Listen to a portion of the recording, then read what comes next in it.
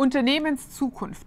Nach diesem kurzen 10-minütigen Video hast du endlich verstanden, was es mit Innovation und Digitalisierung auf sich hat. All deine Fragezeichen sind beantwortet. Digitalisierung, Innovation, es kommt aus den Ohren raus, wir können es nicht mehr verstehen. In diesem Video erläutere ich dir ganz konkret an einem Fallbeispiel, wie die unternehmerische Zukunft aussieht und was du davon adaptieren kannst für dein Geschäftsmodell. Ich habe hier neulich wieder ähm, auf, tatsächlich bin ich in der ersten Klasse gereist und da gibt es dann immer solche Zeitungen, auch mal auf Papier ein Bericht ähm, vor mir zum Thema am Fallbeispiel von Douglas. Online-Boom rettet Douglas in der Corona-Krise. Doch was hat es damit auf sich? Was bedeutet das für mich als Unternehmer? Wie kann ich das adaptieren?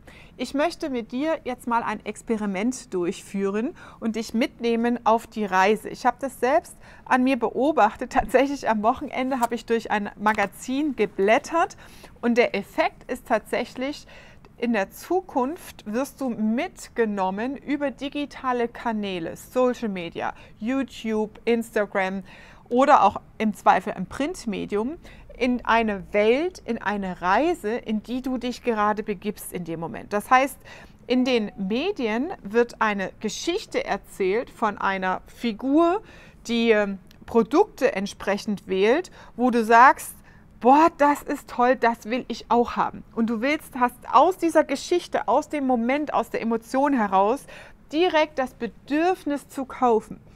Und dahinter steckt der digitale Wandel. Wenn man das Prinzip verstanden hat, wohin diese Reise geht als Unternehmer, dann kannst du runterbrechen für dich, was bedeutet das jetzt für mich. Das heißt, Nehmen wir mal ein anderes Fallbeispiel. Du bist im Thema Interieur unterwegs. Ich merke total diesen harten Cut zwischen E-Commerce und Produkten, die im End-Consumer-Bereich bereits online und digital erwerblich sind und auch unterwegs sind, sehr erfolgreich und Geschäftsbereichen und Branchen, die da so weit hinten dran sind. Das heißt, über digitale Kanäle scrollst du, suchst du. Wir haben den ganzen Tag das Handy in der Hand, den Instagram-Feed, den LinkedIn-Feed und die Themen, die dich interessieren.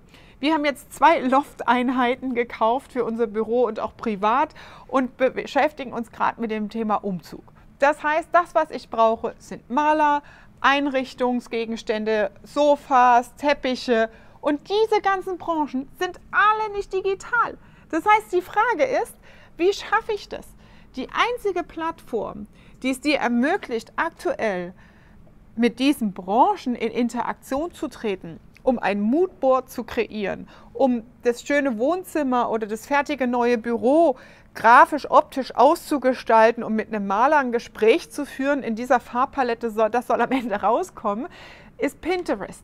Das ist die einzige Plattform aktuell, wo Unternehmen ihre Produkte posten können in Form von Fotos und wo du anhand von Collagen dein Moodboard und damit dein Zielbild in der Einrichtung fertigstellen kannst. Was Pinterest aber noch nicht hat, noch nicht, ist der Kaufbutton. Den gibt es auf Instagram bereits. Das heißt, du hast dein Moodboard fertig, gehst in eine Welt rein, richtest es ein hast idealerweise, bist als Dienstleister vernetzt auf solchen Plattformen und hast nur einen Knopf bestellen, Beratungsgespräch buchen, einkaufen, zack in den Warenkorb. Durch diese Einfachheit im E-Commerce, im Consumer Good Bereich, nimmt es auch Ausweitungen an auf alle anderen Geschäftsbereiche. Ich hätte kein Problem damit, online ein Sofa für 5000 Euro zu bestellen. Aber es ist ja noch nicht mal da. Das heißt, in wenn man in dieser Welt unterwegs ist, in diesen zukünftigen Trends, merkst du auf einmal, wie krass der Aufwand ist, zum Ziel zu kommen. Was ist das Ziel? Das Ziel ist, passend in meiner Einrichtung ein fertiges Produkt zu kreieren. Ob das 4.000 oder 6.000 Euro kostet, ist gerade egal, ja, weil es soll halt passen und gut aussehen und komfortabel sein. Und ich möchte schnell zum Ziel kommen, eine Lösung. Ich habe keine Lust, wochenlang durch irgendwelche Möbelhäuser zu fahren, geschweige denn jetzt, wo alle zu sind im Lockdown, ähm, um da was Passendes auszuwählen. Wie viel Zeit muss ich investieren, um die passende Lösung für mein Problem zu finden? Und das ist die zentrale Frage, die sich hinter Digitalisierung befindet. Das heißt, wichtig ist, wenn du dein Geschäftsmodell weiterentwickeln willst, diese Systematiken zu verstehen, die Interaktion mit deiner Community, mit deiner Audience, welches Problem deines Kunden löst du und wie kannst du diese Service-Dienstleistung digital über die Kanäle, die es bereits gibt, anknüpfen und präsentieren. Wie kannst du darüber, und das ist das ganze Thema der Riesenballon Online-Marketing, wie kannst du den Weg zu deinem Kunden finden? Den Weg in die Hosentasche deines Kunden auf das Smartphone. Das ist die Zukunftsmusik. Das heißt, wir verlieren heute nicht mehr gegen den Wettbewerb, sondern wir verlieren gegen die Zeit, die wir nicht nutzen, uns mit solchen Themen auseinanderzusetzen als Unternehmer. Die Unternehmerzukunft ist davon abhängig, wie gut du diese Systematiken und Metriken verstehst und dein Geschäftsmodell darauf anpassen kannst. Es ist nicht einfach. Es gibt keine Blaupause und kein One-Way-Ticket, so kommst du online an, weil das immer eine Interaktion deiner Zielgruppe ist. Und diesen Weg, den musst du erst gehen und herausfinden, was kommt gut bei meiner Zielgruppe an. Sind es einzelne Produktfotos oder sind es Szenenfotos? Sind es mehr Videos? Welche Altersgruppe sind deine Zielgruppe? Das sind alles einzelne Schritte, ist wie so eine Dominokette, die zu erarbeiten ist in der Community über Klicks und Webseitenbesuche, über Abbrüche im Warenkorb, Ansichten und so weiter und Teilen und Scheren deiner Beiträge. Das ist das Thema, womit man sich auseinandersetzen muss, um langfristig davon auch profitabel zu gewinnen. Ich komme nochmal zurück auf das Einstiegsbeispiel und gehe mal hier ins Detail rein. Die Corona-Krise hat Spuren in der Bilanz der Parfümeriekette hinterlassen. Klar, Umsatz in den Filialen sinkt. Logisch, dass trotzdem Fixkosten anfallen, weil du musst Miete zahlen. Damit sinkt natürlich die Marge und das EBIT, also der Ertrag des Unternehmens. Dass das Unternehmen trotz überraschend, trotzdem überraschend gut durch die Krise gekommen ist, verdankt es dem E-Commerce. So gingen die Umsätze im Onlinehandel auf 40,6 Prozent mit 822 Millionen Euro nach oben. Und ihr müsst euch vorstellen, wenn man hier mal durchblättert, das sind Produkte unter 100 Euro im Durchschnitt. Ja, also mit kleinen Produkten unter 100 Euro 822 Millionen. Wir haben im vergangenen Jahr enorm davon profitiert, dass wir sehr früh mit der Digitalisierung begonnen haben und dann konsequent in die Weiterentwicklung investiert haben, erklärt Douglas-Chefin Tina Müller.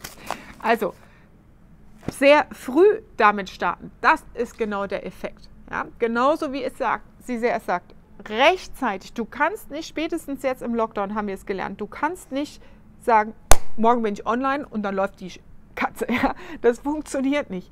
Es ist tatsächlich ein iterativer Prozess, ein Auseinandersetzen mit dem Thema. Und deswegen verlierst du Zeit. Du kannst dir die Zeit später, wenn du sie verloren hast, nur noch teuer einkaufen. Was ist das Problem bei den Großkonzernen? Warum kaufen Großkonzerne, und das ist egal, ob es die Bankenwirtschaft, die Versicherungswirtschaft oder die Automobilbranche ist, warum kaufen die Startups?